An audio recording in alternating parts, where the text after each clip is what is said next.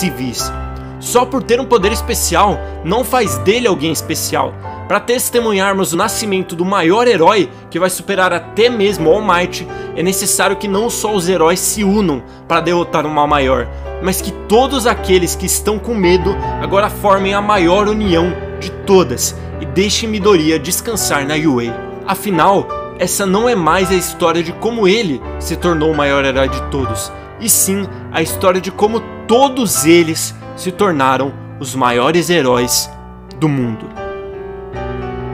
Pior que eu imagino a equipe, né, que fica responsável pelo roteiro do, do Boku no Hero, falando, aí as pessoas vão ler isso e vão falar, é, ficou tão legal, uhul, que inspirador.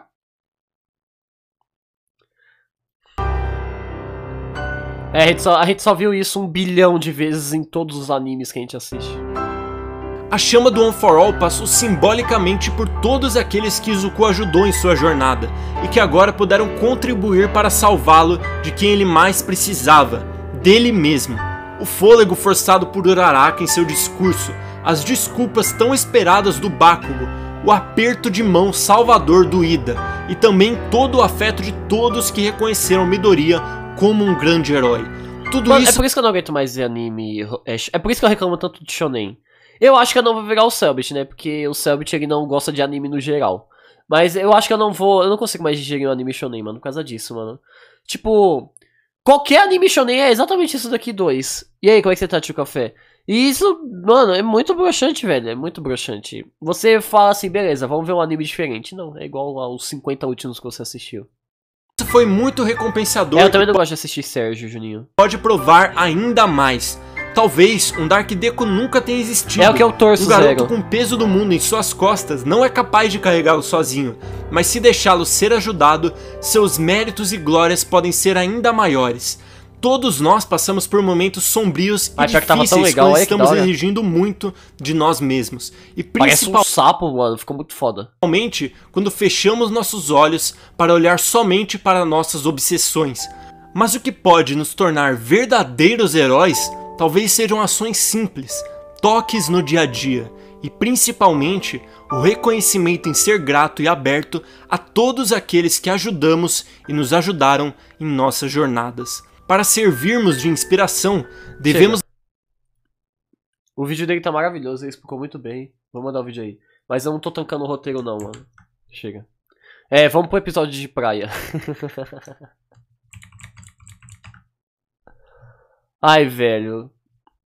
Ah, mano, sei lá, eu respeito quem gosta, mano, mas eu não suporto mais. Eu não aguento mais isso, mano. E pior que vai passar 25 anos e vai continuar tendo anime assim ainda e o pessoal vai continuar gostando, né? Porque se eles fazem é porque o pessoal gosta.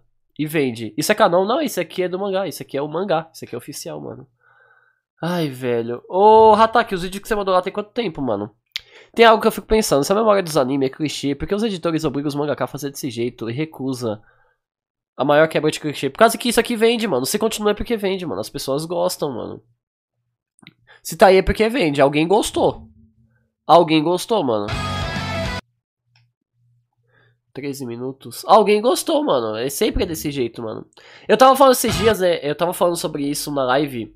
Que. É, eu vou fazer meu anime, né, e tal. E eu quero fazer isso é pesado, né? Quero fazer essas paradas assim, né? Só que, tipo, se um dia uma produtora for me. né? Sonhando alto. Fosse me contratar, eles iam ter que mudar muita coisa da história. Por causa que, tipo assim, por exemplo. Ó. Eu vou dar um exemplo aqui. Vamos lá. O Zenzin Impact aqui, ó. A cara do Zenzin é a Paimon, super fofinha. E isso aqui vende muito, mano. As crianças, tipo, um monte de gente joga. Agora imagina se na história do Genshin o, a Paimon desse uma facada no coração do Aether, tá ligado? É muito pesado. Aí, tipo, eles iam ter que censurar, aí ia parar de vender brinquedo, as crianças iam ter que parar de jogar. E, tipo assim, hoje em dia, as empresas, tipo, é um monopólio, né, mano? As pessoas. Ah, é o dinheiro.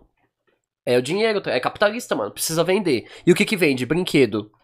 E como é que a gente vai fazer ter brinquedo? Criança jogando. E como é que a gente vai fazer criança jogar? Não colocando violência. Porque aí senão os pais não vai permitir assistir. E é isso, tá ligado? Aí vira um looping. E a gente vai viver isso pra sempre. Nunca mais a gente vai ter uma história que possa ser pesada de verdade, a não ser que o foco seja desde o início o público adulto. Porém, quando o público adulto é o foco, já começa a vender menos, por causa que aí já não pode vender brinquedinho, entendeu? Essa é a questão. E isso me irrita, mano. Isso me irrita muito. Até eu que tô fazendo meu anime quer fazer ser pesado, é que nem eu falei, se um dia eu for contratado por uma editora, mano, eles iam botar um monte de censura e iam mudar um monte de coisa da história, por causa que precisa vender. Precisa de dinheiro, entendeu? Aí meio que é um loop que não tem como a gente escapar. O único jeito de escapar disso é se dinheiro não mover o mundo mais. Aí dá pra colocar. Mas isso nunca vai acontecer. Tá? Isso me irrita. Me irrita muito, mano. Por causa que parece que perde a essência. Como a vida real não é um mar de rosas para ficar fazendo tudo ser bonzinho, sabe? A vida real não é só brinquedinho vendendo. Isso, isso cria uma, uma ilusão de como que é o mundo. Porque aí a criança assiste o Midoriya vencendo tudo com o poder da amizade. Só que aí ela vai na escola e sofre bullying. Entendeu? Ela apanha do cara mais forte do que ela. E ela não entende por quê. Porque ela fala, nossa, mas eu vi na história que tudo é tão bonzinho, por que, que comigo não acontece? Porque é vida real, tá ligado? Só que por alguma razão as pessoas acham que é a melhor maneira de se educar alguém. Colocando uma ilusão. Sabe? Mentindo pra pessoa.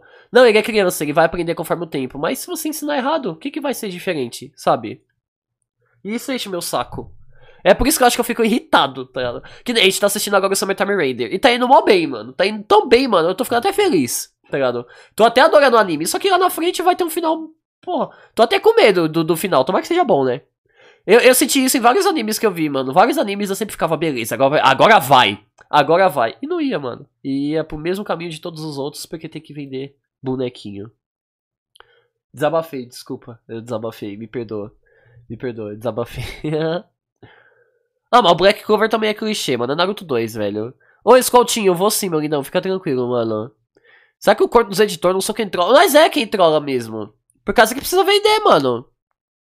Ah, beleza, o Hatak. Vamos ver só o primeiro, então. Ariel, eu queria, viu, mano? Eu queria. Foi tipo a autora, Dick Metz, ela fez a história do Demon Slayer muito pesado, só que recusaram porque tava muito, muito pesado. Então, é igual o... Tem várias histórias que acontece isso, não é a primeira não, mano. Não é a primeira que isso acontece não, mano. Tem anime como Kimetsu que tem sim parte leve e tal, mas consegue ter parte pesada e vender pra caralho. Mas ainda é muito censurado, mano. Ainda é muito censurado. O Kimetsu ainda tem que vender bonequinho. A gente tá entrando numa nova era, que tudo na internet tá sendo baseado nas crianças e censurando tudo, sim. Tudo! Eu não posso falar palavrão no YouTube porque o YouTube corta o alcance. Oi, Sarachã, boa noite, princesa. O... o YouTube corta o alcance se eu falar, se eu falar pinto. Não posso falar pinto. Senão eles vão cortar o alcance. Aí eu tenho que falar o órgão genital masculino. Sabe? E não adianta falar que é só por causa de censura, por causa de criança. Porque não é, mano. É por causa que eles. Eles querem, tipo. Botar tipo uma ditadura, só que disfarçada, entendeu? Ah, você já tá fazendo vídeo pra internet, né, mano? Então fica quieto aí e agradece, sabe? O engraçado é que as obras vão contra isso, de focar em público infantil, que história, tipo Rick Morty. É, Rick Morty também foi pra esse lado, né, mano? Mas o Rick Morty foi focado em adulto desde o início, é que nem, tipo, Invencível ou The Boys, sabe? Black Clover é diferente do Naruto Shippuden, porque ele é bom. Ai, ai, viu, mano? Beleza, o Hatak, ok, ok. É porque tem muito tempo também, o Hatak, tem muito tempo, mano. Ô, Beatriz, me dá uma obra. Desculpa, desabafei. Vamos ver a outra parte. Vamos ver esse vídeo aqui, ó, que o, o Hatak mandou. Que é. Que é. é, é... Ô, Hatak, você disse que aqui é ele consertando a história do anime? É isso? Você disse que era ele consertando, né? Era tipo isso, não era? Põe 1,25, ok. Ah, o Intox, que eu já vi os vídeos dele já. Sim, sim, beleza. Sabe usar os... É ABC, sabe usar música que muito bem. E no mangá ainda melhor. É por isso que geralmente em obras assim que a gente gosta, o mangá sempre fica melhor. Mano, quem aí assistiu Tokyo Ghoul, sabe aquela cena lá que o, Arima, ele coloca o bagulho no olho do Kaneki? Mano, aquilo dali foi desenhado perfeitamente, zero censura no, no mangá. Tá ligado? Dele colocando aquele, aquele esqueci, é, é, esqueci não, é Kaguni, esqueci o nome. Mas aí no anime você vai ver, é o mano levantando a mão, aí a tela fica preta e censura também. E isso quebra, sabe, a imersão da história. Por causa que na vida real as coisas são pesadas, mano. Isso acontece na vida real, mano. Por que, que no anime tem. Caralho, mano. Tá botando ilusão na cabeça das crianças, velho. A internet é muito hipócrita porque diz, ah, tem que ser algo que não seja nocivo. As crianças, porque elas é o que mais vende e tal. Pessoa entrando no banheiro de Nutella. É. Eu acho que não, Jesse Negro, por causa que continua dando certo. Esse tem spoiler? Eu não sei, tem spoiler aqui, mano? É o contra o zero. Control. Nossa, que o daí é pesado pra caralho, né, o JV, mano? Nossa.